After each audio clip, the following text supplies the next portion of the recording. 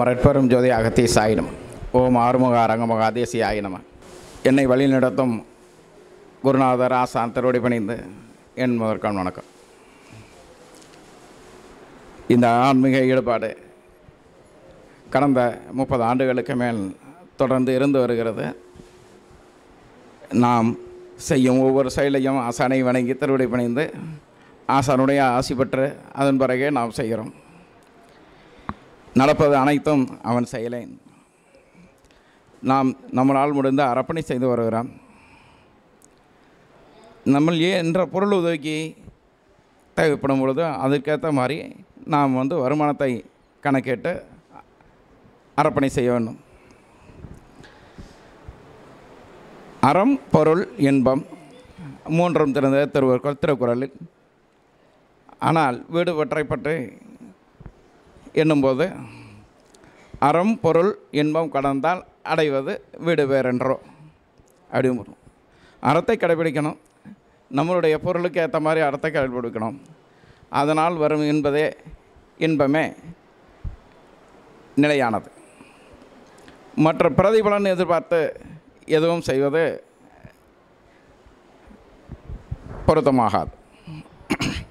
இப்போ சில பேர் சொல்லுவாங்க நம்ம இந்த சாமிகிட்ட போய் வேண்டிக்குவாங்க.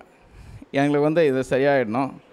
இந்த இது சரியாயிடுச்சுன்னு சொன்னால் நான் இது வந்து செய்கிறேன் எனக்கு வந்து இப்போ உணவு உடம்பு சரியில்லை. உடனே போய் உடனே சாமிகிட்ட போய் வேண்டிக்கிறது உடம்பு சரியானா நான் வந்து மொட்டை அடிக்கிறேன் இதனால் சாமிக்கு ஏதாவது பிரயோஜனமான? எதுவும் கிடையாது. சாமிகிட்ட வந்து நம்ம வந்து ஒரு கான்ட்ராக்ட் போடுற மாதிரி. நீங்கள் இது செஞ்சான்னா நான் இது நாளைக்கு வந்து தேங்காய் படைச்சோன்னா கடா வெட்டுவோம். முடி இறக்குவோம் இதனால் யாரும் முடியாது. நம்மளோட உயிரை நம்ம காப்பாற்றுறது முடியலங்கும் போது இன்னொரு உயிரை கொண்டு போய் பழி கொடுக்க போகிறதுனால மேற்கொண்டு பாவம் தான் நமக்கு வந்து வந்து சிரம வழியாக புண்ணியம் கிடைக்கிறதுக்கு வாய்ப்பு கிடையாது. மேலும் மேலும் ஊழ்வினையை பறிக்கிக் கொள்வது தான் மிச்சம். முயற்சி திருவினையாக்கும் முயற்சியின்மை இன்மை புகுத்து விடும்னார். நேர்த்தி நல்வினை தீவினை நம்ம வந்து நம்ம நல்வினை தீவினை பெருக்கம் காரணமாக தான் நம்ம இந்த மானோட பிறவி பிறந்திருக்கும். ஆனால் திருவினை எப்படி எப்படிங்கிற போது ஞானிகள்லாம் வந்து அந்த முயற்சியை செய்து தான் திருவினை அடைந்தவர்களுக்கெல்லாம் முயற்சி திருவினையாக்கும் அப்படின்னார்.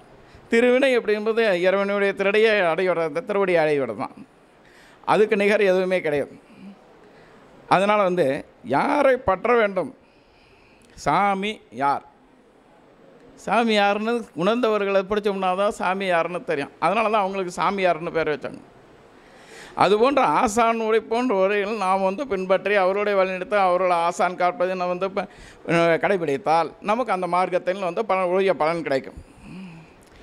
திருமூலர் சொல்கிறாரு திருமந்திரத்தில் படமாட கோயில் பகவருக்கொன்றியில் நடமாட கோயில் நம்பர்க்காங்க ஆகா.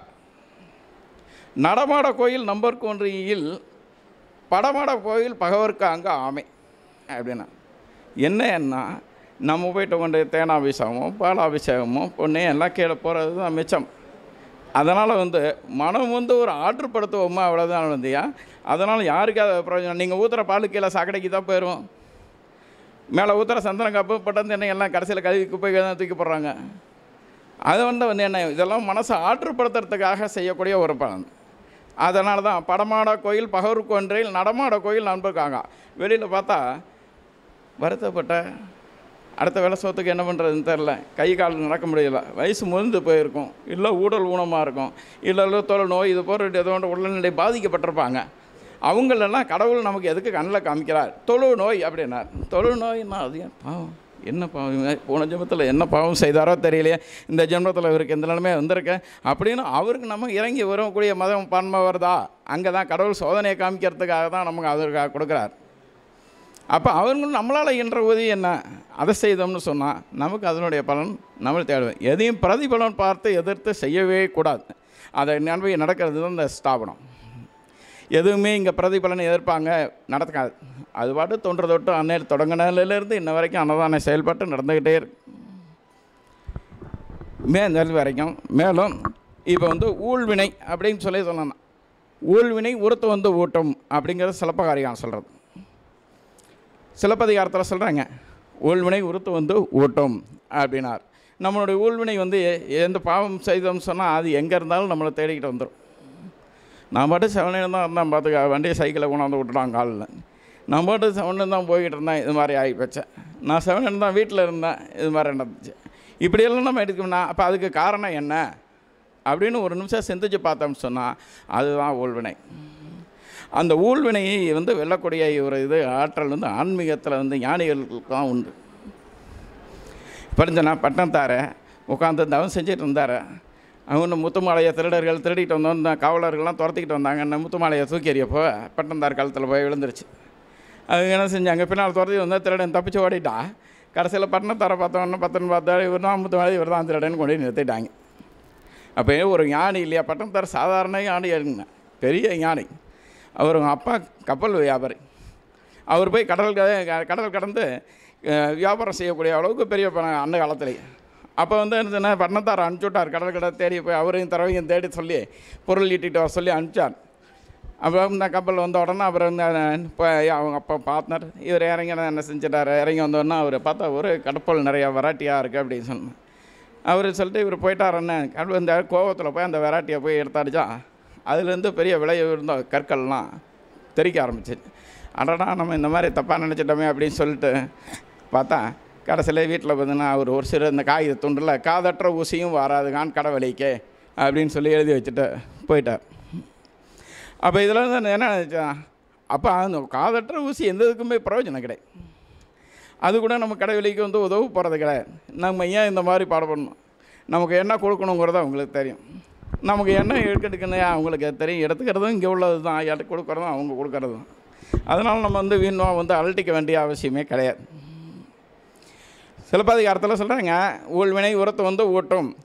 அப்படி சொல்கிறாங்க அப்போ வந்து கோவலனை வந்து ஏன் வந்து ம- மதுரையை தீக்கிரையாக்கணக்கூடிய கண்ணகி ஏன் வந்து கோவலனை காப்பாற்றிருக்க கூடாது அதுதான் ஊழ். மறந்தேன்னா ராமலிங்க சுவாமி சொல் கைப்பிடித்தேன் என்று கலப்பேன் அப்படிம்பார். சொல்லியிருக்காங்க. கைப்பிடிக்கக்கூடியது தான் கட்டளை. திருமணம் செய்வதேனே இல்வாழ்க்கை வந்து வந்து உத்தரவு இல்லை அப்படிங்கிற மாதிரி இந்த கைப்பிடித்தேன் என்று கலப்பிலேன் அப்படிங்கிறாங்க. அது மாதிரி வந்து அவங்களுடைய கட்டளை அது. திருப்பி வந்து இந்த மாதிரி வந்து கற்புக்கு இலக்கணம் வைக்கணும் அதுக்கு கண்ணகி யாதெல்லாம் சிவந்தவங்க அப்படின்னு சொல்லி அந்த சரித்திரம் நடக்கணும் அப்படின்னு சொல்லும்போது ஏற்கனவே ஞானிகளால் அருளப்பட்டது. ஏற்கனவே நிர்ணயிக்கப்பட்டது.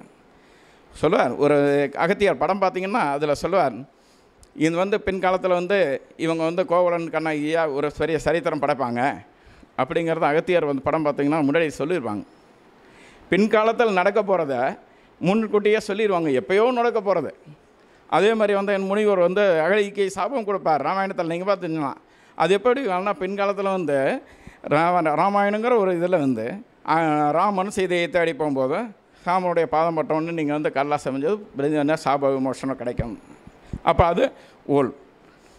அது மாதிரி வந்து என்னென்னா ஊழ்வினை நம்ம எங்கே இருந்தாலும் வந்து தொடர்ந்து வந்து நடத்த நம்மளை துரத்தி வந்தால் தான் செய்யும். அதை நம்ம அனுபவிக்கிறது தான். அதை வெல்லுகின்ற ஆற்றல் ஞானியர்களுக்கே உண்டு.